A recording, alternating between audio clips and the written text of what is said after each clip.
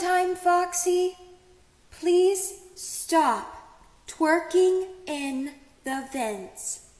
You are scaring Michael.